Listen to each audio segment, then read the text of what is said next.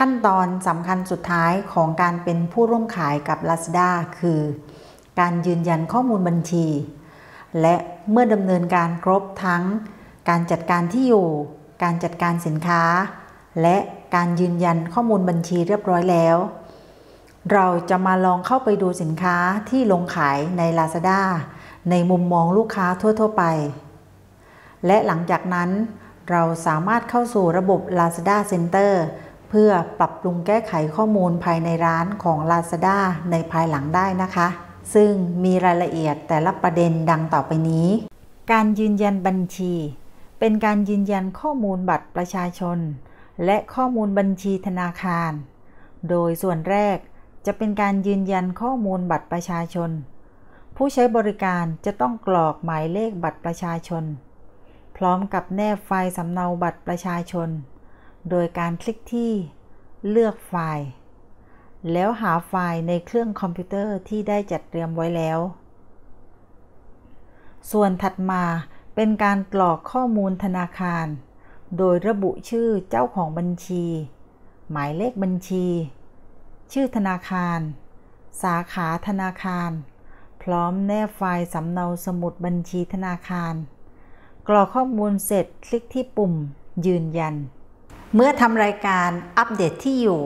อัปเดตรายการสินค้าอย่างน้อยหนึ่งรายการ อัปเดตข้อมูลบัตรประชาชน และอัปเดตข้อมูลบัญชีธนาคาร ทั้ง 3 ขั้นตอนแล้ว ถือว่าเป็นการเปิดร้านค้าออนไลน์เรียบร้อยแล้ว เจ้าของร้านสามารถเข้ามาปรับปรุง เปลี่ยนแปลงแก้ไขข้อมูลในร้านค้าได้ตลอดเวลา และสามารถลองเข้าไปชมสินค้าของตัวเอง ในมุมมองของลูกค้าทั่วไปได้ดังนี้ เข้าสู่เว็บไซต์ lazada.co.th พิมพ์ข้อความที่ต้องการค้นหาในช่องค้นหา ณ ที่นี้พิมพ์คำว่า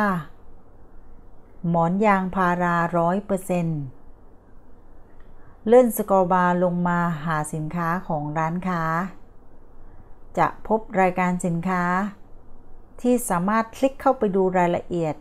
เช่นเดียวกับสินค้าอื่น ๆ ใน Lazada กรณีที่ต้องการเข้าสู่ระบบ Seller Center เพื่อเข้ามาปรับปรุงแก้ไขทำได้ดังนี้ ในขณะที่ยังอยู่ในเว็บไซต์ Lazada คลิกที่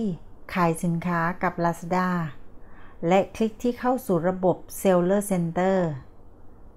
ลงชื่อเข้าใช้ระบบ โดยเลือกได้ 2 วิธีคือ ลงชื่อเข้าใช้โดยอีเมล หรือเบอร์โทรศัพท์ หลังจากลงชื่อเข้าใช้ จะมีเมนูทางด้านซ้าย ให้ผู้ใช้ได้จัดการหลาย ๆ เมนู เช่น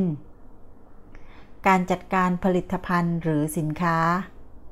การจัดการรายการคำสั่งซื้อ โปรโมชั่น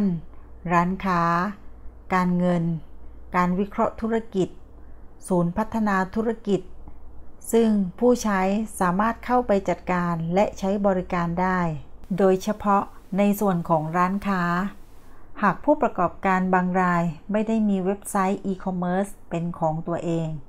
สามารถเข้ามาสร้างร้านค้าของตัวเองภายในเว็บไซต์ของ Lazada ได้ เนื่องจากมีส่วนของการตกแต่งร้านค้า การจัดการหมวดหมู่ร้านค้า และตัวสร้างฟีด โดยคลิกที่ร้านค้าและตกแต่งร้านค้า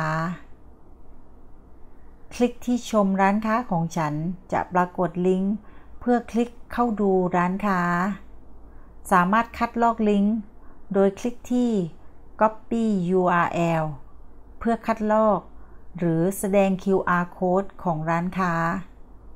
เมื่อคลิกที่ลิงก์จะแสดงหน้าร้านค้า โดยรายละเอียดของการจัดการร้านจะประกอบไปด้วยหลายเมนู เช่น หน้าเพจของฉัน แก้ไขหมวดหมู่ร้านค้าของฉัน ตัวสร้างฟีด และการวิเคราะห์ข้อมูล